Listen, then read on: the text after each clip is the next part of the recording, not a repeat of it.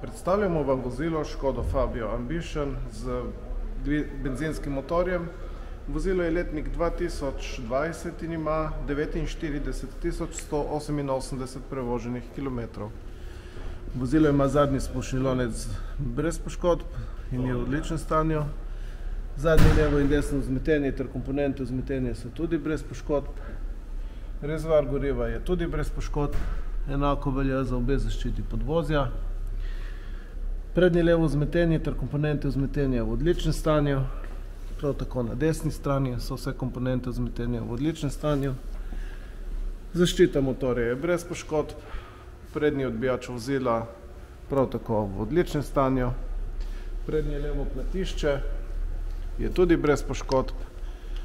Pnevmatike so letnik 2021, katere imajo 6,45 mm profila. Levi prak vozila je brez poškodb.